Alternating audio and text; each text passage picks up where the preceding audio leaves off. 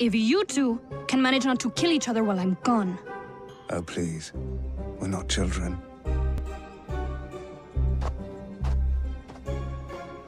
He shouldn't die. Yes, fuck you.